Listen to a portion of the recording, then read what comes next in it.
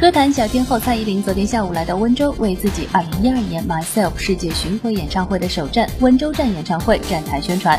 九零一登场就得到了当地歌迷的热情欢迎，可见其歌坛一姐的地位。据指令现场透露，此次在四月二十日举行的演唱会主题不仅定位在全民 Party 的概念，现场更将通过灯光和舞美的完美融合，营造出一个巨型的 disco 舞池，让所有的歌迷朋友都可以感受到音乐狂欢的激情。值得一提的是，蔡依林此次将会独自一人完成所有的演出，并不会邀请其他的表演嘉宾，这让不少期待双 J 共同表演的愿望落空了。因为我演唱会如果有有蛮适合的的歌曲或环节，我会想想看可以再和哪一个艺人合作。但目前这个这个呃整套的秀是不太需要再。再多一些呃不同的艺人这样子。前不久，韩庚参加《天天向上》栏目引发霸路门，一时间被扣上了耍大牌的帽子，这也直接影响到了韩庚最近的心情。据悉，当天蔡依林也作为表演嘉宾参与了此次录制，不过她在现场表示自己是最后一个上场的嘉宾，因此并不清楚整件事情。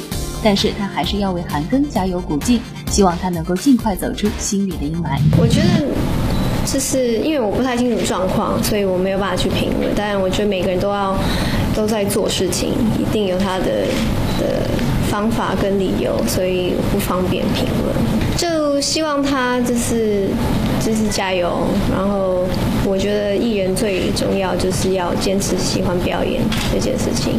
那喜欢他的歌迷，我相信还是会很期待他的作品。此外，蔡依林的感情生活依旧是媒体关注的焦点。